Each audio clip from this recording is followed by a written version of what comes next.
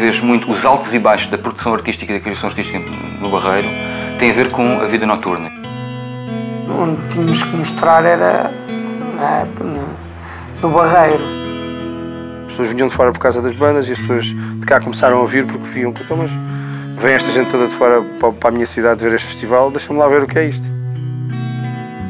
Aquela de ser festa, a, a, a festa de liceu que saiu fora de controle.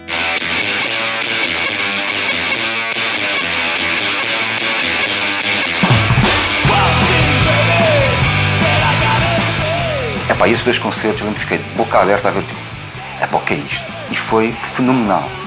Hello, this is uh, the Black Lips manager. Eu, ai, não acredito.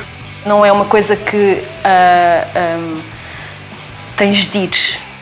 Uma que nós vimos no King Canada Shrine foi um mega concerto. Quero ver as bandas que sempre gostei de tocar na minha cidade. Ah, eu vou fazer um festival. Pá, aguenta aí um bocadito agora. É pá, Espera aí, Vieira. é pá, tira aí. Não, não, não, não, não, não, olha lá que levas o microfone atrás. Quem me dera que desse para votar nele. o brilho nos olhos das pessoas quando dizem à malta do barreiro. Há ali um brilho específico. Aquele gajo sabe o que é que estamos a falar.